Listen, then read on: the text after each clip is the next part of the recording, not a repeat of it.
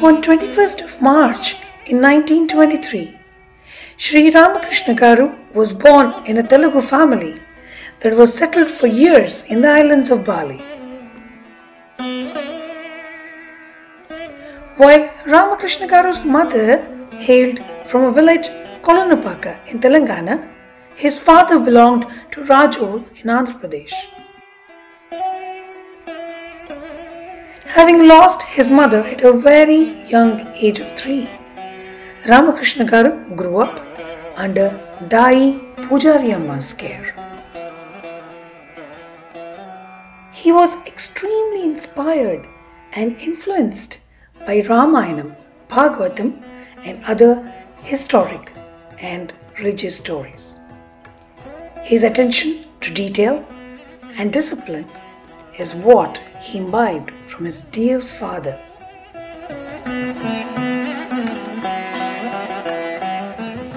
He was named Ramakrishna and his sister Sarada by his father as he was an ardent devotee of Sri Ramakrishna Paramahamsa and followed his footsteps and religious guidance.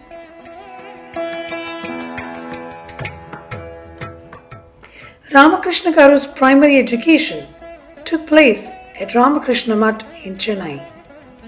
He was highly influenced by the lives of Saswatananda Garu, Deenabandhu Prabhakar Garu, Srimati Asha Devi Garu, among others.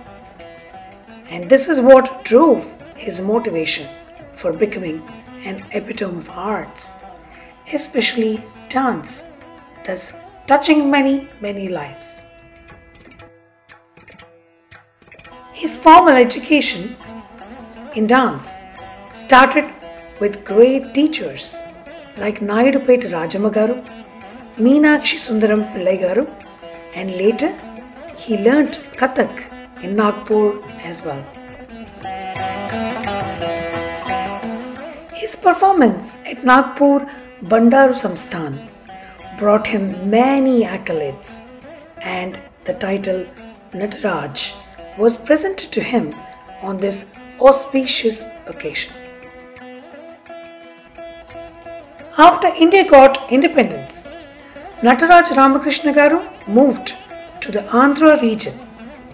He performed at many places, not only to spread the awareness of the dance, but also worked to build acceptance and adoption of classical dance forms there.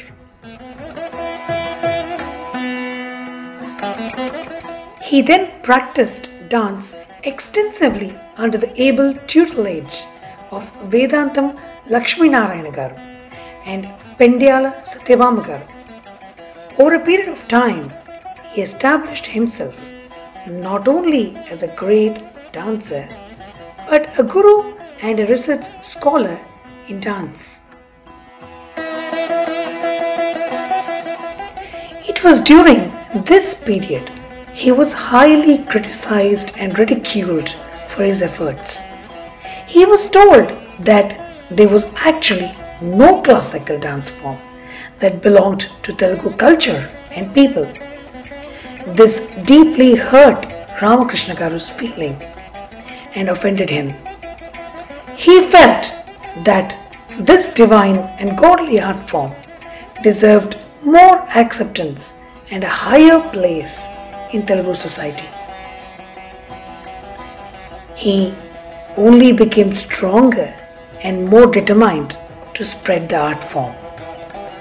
He did many, many lecture demonstrations, performances on Abhinaya at various universities and institutions across many villages, towns, and cities in Andhra Pradesh at that time.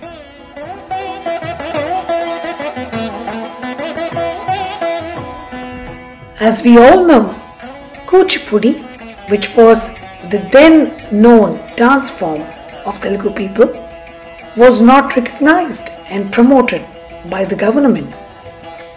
Ramakrishna Garu worked extensively towards making sure Kuchipudi got its due recognition through dance conferences, workshops, lecture demonstrations that he conducted.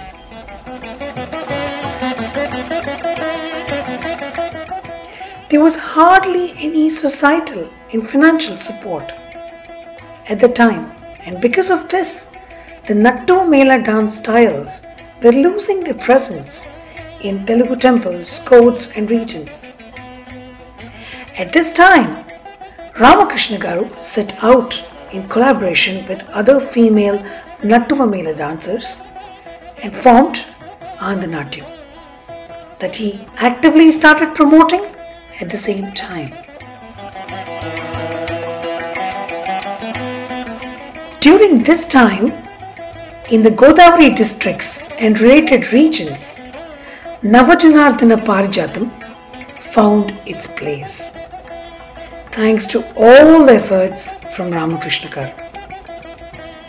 He also revived Perini Tandavam that saw its light during the Kakatiya dynasty in the 11th century.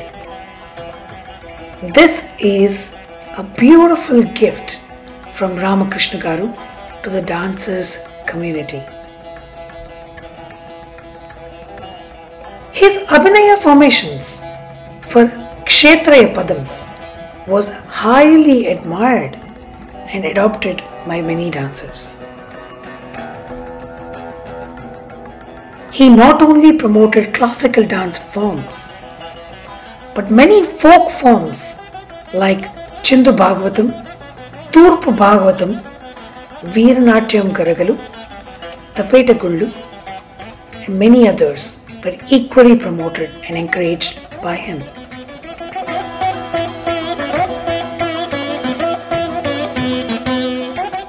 Ramakrishna Garu's choreographic work was extraordinary.